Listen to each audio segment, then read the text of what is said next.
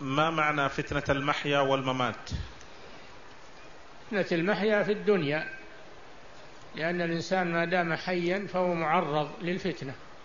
وفتنة الممات قيل إنها ما يعرض للإنسان عند الموت عند النزع. يأتيه الشيطان فيوسوس له فقد يموت على الكفر. إن لم يثبته الله. وقيل المراد بها فتنة القبر. فتنة القبر وسؤال الملكين والظاهر والله أعلم أن هذا شامل لما عند الاحتضار وفي في القبر. نعم.